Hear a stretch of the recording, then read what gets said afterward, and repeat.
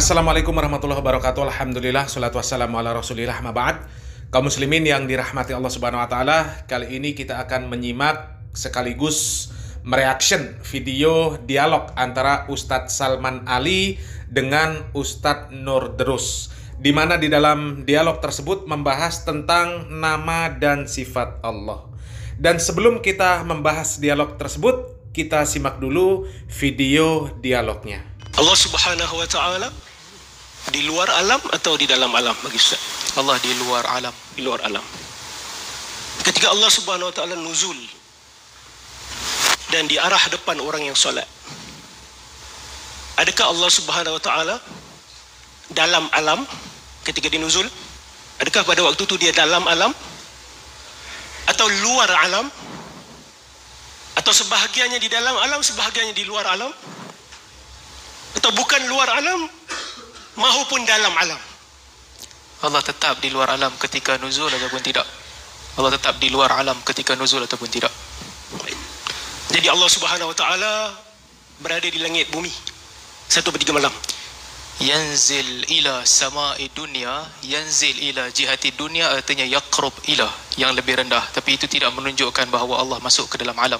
So Allah Nas bukan berada di langit uh, bumi satu per tiga malam. Allah mengatakan Allah turun ke langit bumi satu per tiga malam. Lafaz itu yang kami percaya. Isbat. Lafaz itu saya isbat. Kami isbat lafaz itu sebagaimana difahami oleh orang awam daripada perkataan itu yang diletak di dalam konteks itu. Tetapi tidak mengisbatkan lawazim jisim makhluk ini kepada Allah Subhanahu Wa Taala.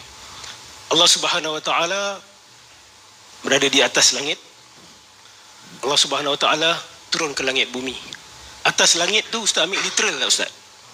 Apa maksud literal ni? Hakikat lugawi ke literal lugawi? jelas tak? Dalam bahasa Inggeris tak ada khilaf. Maksud literal tu yang berlawanan dengan figuratif yang berlawanan dengan majaz saya ada masalah dalam uh, definition itself. Sebab pada saya hakikat itu termasuk hakikat lugawiyah tak, hakikat itu, urfiyah itu literal, literal. Tapi itu itu kefahaman star ya. Anda takrifkan literal ni sebagai yang berlawanan dengan majaz itu. Anda soalan anda berkisar kepada makna literal itu. Bukan makna yang ustaz faham, tapi makna yang saya faham. Okey? Allah di atas langit fawqal arsh literal, literal. Allah Subhanahu wa taala di langit bumi seperti malam literal. Tak dikatakan di langit bumi, dikatakan Allah yanzil ila sama'i dunia. Allah yanzil ila sama'i dunia bukan yes. bermakna Allah di langit bumi lah. Yanzilu ila sama'i dunia kita kata yanzilu ila sama'i dunia. Literal. Baik. Jadi Allah tidak masuk ke dalam alam? Tidak. Allah kekal fawqal arsh. Yes. Allah sentiasa di luar alam ba'in min khalqi. Baik. Jadi kita lihat dekat situ Ustaz Salman mengambil Allah Subhanahu taala di atas arsh secara literal hakikatan. Tetapi apabila nuzul bagi kami itu tawil. Bagi kami ya. Bagi ustaz tak tawil fatal tak ada masalah. Bagi kami itu tawil. Itu adalah tawil. Dan itu adalah itu adalah figuratif. Itu figurative speech No, tanya mana-mana pakar bahasa. Dia tak akan berbeza pandangan. Itu figuratif. You kata turun, tapi bukan berada di tempat itu. Dia turun ke langit bumi, tapi bukan berada di tempat itu. Itu dikira sebagai figurative speech. Nah, kaum muslimin yang dirahmati Allah Subhanahu wa taala, kita sudah menyimak video dialog antara Ustadz Salman Ali dengan Ustadz Nur Derus. Kemudian dari pertanyaan-pertanyaan Ustadz Nur Derus yang dilemparkan kepada Ustadz Salman Ali, kami menyimpulkan bahwa pertanyaan-pertanyaan tersebut adalah pertanyaan-pertanyaan jebakan. Ya, jebakan untuk bisa menjebak Ustadz Salman Ali. Karena kalau Ustadz Salman Ali ini salah di dalam menjawab pertanyaan tersebut, maka akan disebutlah bahwa Ustadz Salman Ali ini akidahnya mujassimah. Tapi kita tahu, kita tahu Ustadz Salman Ali ini Masya Allah, keilmuan beliau luar biasa. Dan beliau ini sudah terbiasa berdialog dengan orang-orang yang mengaku aswaja atau orang-orang asyairah. Karena orang-orang aswaja ini mengaku mereka ini akidahnya asyariyah atau asyairah yang banyak sekali mentakwil nama dan sifat Allah termasuk mentakwil makna bahwasanya Allah itu berada di atas arsy ya kemudian mentakwil makna Allah nuzul Allah turun ke langit dunia di sepertiga malam tapi pertanyaan-pertanyaan yang dilemparkan oleh Ustadz Nur Derus ini ini masih bisa dikatakan bahasanya masih bagus lah. Bahasa yang dipakai itu masih bagus. Beliau tidak menunjukkan gerangsangnya pemikiran dia. Apa gerangsang itu kalau di bahasa Indonesia? Liar lah ya. Tidak menunjukkan liarnya pemikiran Ustadz Nurdrus. Kalau kita menyimak obrolan Kiai Idrus Romli dengan Ustadz Abdul Somad yang membahas tentang makna Allah di atas ars dengan Allah nuzul itu parah sekali perkataan-perkataan mereka. Pernyataan pertanyaan mereka. Sampai mereka mengatakan kalau Allah turun ke langit dunia maka ars kosong dong. Kemudian istiwa Allah di atas ars mereka maknai juga sebagai apa namanya duduk ya meskipun mereka itu melempar maknanya untuk menuduh bahwasanya orang-orang yang mereka sebut dengan Wahabi ini memaknai sebagai duduk. Istiwa itu dimaknai sebagai duduk. Padahal orang-orang yang disebut dengan Salafi atau Wahabi tidak pernah memaknai yang namanya istiwa itu duduk. Tidak pernah. Ya, seperti perkataan Imam Malik, makna istiwa itu sudah diketahui maknanya. Tapi tidak bisa disamakan, kemudian dibahasakan, dibahasa Indonesia kan sebagai duduk. Tidak pernah dimaknai seperti itu.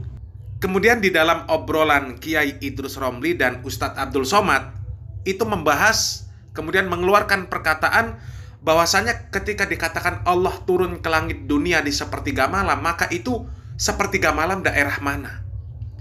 Ya, itu kan pernyataan-pernyataan, perkataan-perkataan yang liar. Pernyataan-pernyataan yang gerangsang, hasil dari pemikiran-pemikiran yang gerangsang.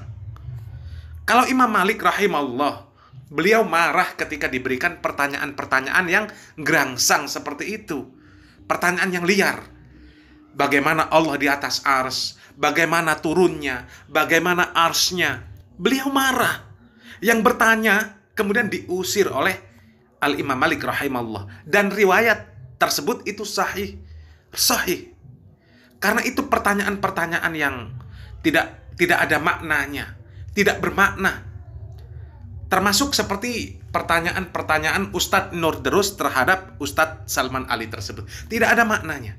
Menanyakan bagaimana turunnya. Apakah Allah itu turun zatnya ke langit dunia? Kenapa berpikir sampai ke sana? Langit dunia saja itu yang mana kita tidak tahu. Seperti apa, bagaimana, di mana kita tidak tahu.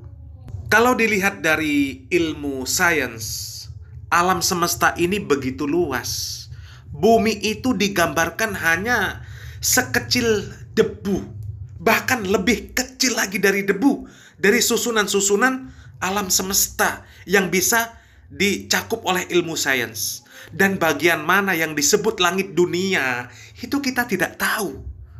Apalagi kita mau memikirkan zatnya Allah. Memikirkan makhluknya saja kita tidak bisa tuntas. Tidak bisa tuntas. Memikirkan makhluk Allah tidak tuntas. Kok berpikir bagaimana Allah turun ke langit dunia? Hah? Berpikir berpikir zatnya Allah turun ke langit dunia. Kemudian di dalam Al-Quran dikatakan arsnya Allah itu di atas air. Ya kita hanya bisa mengimani. Mengimani. Kalau memikirkan bagaimana arsnya, bagaimana airnya, kita tidak akan bisa. Tidak akan bisa. Oleh karenanya ahlu sunnah wal jamaah menetapkan nama dan sifat Allah itu sesuai dengan zahir ayat dan menyerahkan hakikatnya kepada Allah subhanahu wa ta'ala tanpa menyerupakan sesuatu dengan apa pun. Karena Allah subhanahu wa ta'ala sendiri mengatakan, Laisa kamislihi syai'un. Al-Imam Ibnu Abdul Bar rahimahullah beliau mengatakan ahlu sunnah telah berkonsensus di dalam meyakini sifat-sifat Allah yang tertera di dalam Al-Quran dan sunnah dan mengimaninya dan membawanya kepada makna yang hakiki bukan kepada makna majas atau kiasan atau takwil hanya saja mereka tidak menyerupakan dengan sesuatu apa pun dan mereka tidak membatasinya pada sifat-sifat tertentu. Adapun para ahli bid'ah, Jahmiyah, Mu'tazilah, Khawarij, mereka semuanya mengingkari dan tidak membawa makna sifat-sifat Allah kepada makna yang hakiki. Ya, seperti itu. Wallahu alam bisawab. Semoga yang sedikit ini bermanfaat. Barakallahu fikum. Wassalamualaikum warahmatullahi wabarakatuh.